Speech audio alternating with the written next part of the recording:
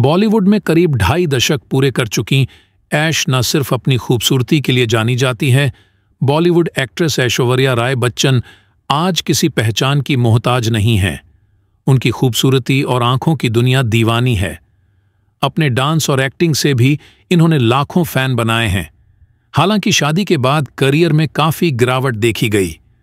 साल उन्नीस में मिस वर्ल्ड का ताज अपने नाम कर चुकी ऐश्वर्या राय बच्चन। न सिर्फ़ बॉलीवुड, बल्कि इंटरनेशनल लेवल पर प्रसिद्ध हैं। दुनिया भर में उनके चाहने वाले हैं। सोशल मीडिया पर भी एक्ट्रेस की शानदार फ़ैन फॉलोइंग देखने को मिलती है। एक्ट्रेस ने बॉलीवुड और हॉलीवुड के अलावा कई तमिल फ़िल्मों में भी काम किया है। इसके बावजूद ऐश्वर्या का रुतबा इंडस्ट्री में कम नहीं हुआ है। वो आज भी बॉलीवुड की सबसे अमीर एक्ट्रेस हैं।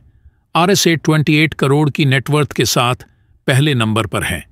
प्रियंका चोपड़ा और दीपिका पादुकोण जैसी एक्ट्रेसेस आज भी इनसे पीछे हैं। एक्ट्रेस अपनी एक्टिंग के अलावा लव लाइफ को लेकर भी काफ़ी सुर्खियों में रही है। एक समय पर ऐश्वर्या राय और सलमान खान की रिलेशनशिप की खबरों ने भी खूब सुर्खियाँ बटोरी थीं। दोनों ने करीब दो सालों तक डेटिंग की और साल 2002 में एक खराब मोड पर दोनों का ब्रेकअप हो गया। नब्बे के दशक में सलमान खान और ऐश्वर्या राय के अफेयर की खूब चर्चा होती थी। दोनों अक्सर साथ नज़र आते थे। फ़िल्म हम दिल दे चुके सनम के सेट पर दोनों को प्यार हुआ था।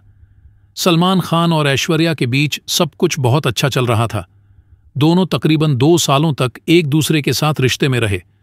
लेकिन फिर अचानक दोनों का ब्रेकअप हो गया। रिपोर्ट्स के मुताबिक, नवंबर 2001 में सलमान ऐश्वर्या राय के घर पहुँचे। सलमान ने एक्ट्रेस की फ्लैट की खिड़की के शीशे और फर्नीचर तोड़े दिए थे।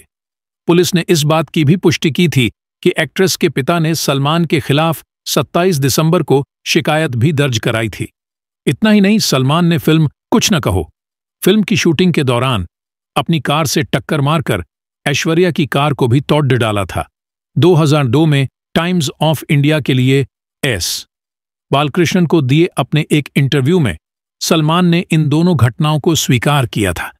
वहीं सलमान ऐश्वर्या के साथ मारपीट करते हैं।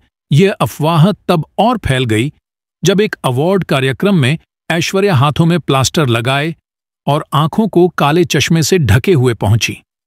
लेकिन ऐश्वर्या ने यह कहा कि वह गिर पड्ढी थी, जिससे उनको चोट आई है। बताया जाता है कि सलमान ऐश्वर्या से शादी करना चाहते थे और इसी को लेकर वह एक्ट्रेस से वादा चाह रहे थे। लेकिन ऐश्वर्या तब इतनी जल्दी शादी नहीं करना चाहती थी।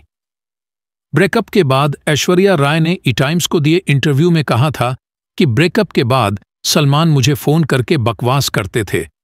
वह शक करते थे कि मेरा को एक्टर्स के साथ चक्कर चल रहा है। अभिषेक बच्चन से लेकर शाहरुख खान तक के साथ मेरा नाम जोड़ा गया। कई बार तो ऐसा भी हुआ, जब सलमान मेरे साथ फ़िज़िकल हुए और मुझे मारा। एक्ट्रेस ने यह भी कहा था कि सलमान ने उन्हें चीट किया था, जिसकी वजह से उनका रिश्ता टूट गया था और सलमान ब्रेकअप को स्वीकार नहीं कर पा रहे थे। इसीलिए वह उनका पीछा करते रहते थे।